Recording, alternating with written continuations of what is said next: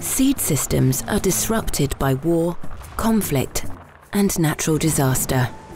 Like in 2019, when cyclones Idai and Kenneth destroyed important local seed reserves in Mozambique, Malawi, and Zimbabwe. People lost their crops, seeds, and livelihoods in an instant. Crucial for food supply, seed systems must be restored and strengthened. Even when farmers have lost everything, they need access to suitable seeds to rebuild their lives.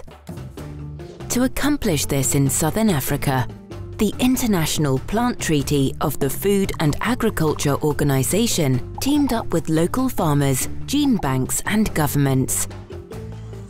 Together, we took stock of lost seeds, identified where to find them and other suitable varieties locally, regionally and around the world to return them to communities to use and safeguard.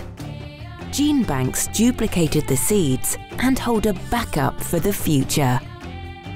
To continue to support the resilience of seed systems, governments institutionalised these actions into emergency response plans. These plans facilitate collaboration between communities, gene banks, countries and regions to ensure farmers have continued access to the seeds they need.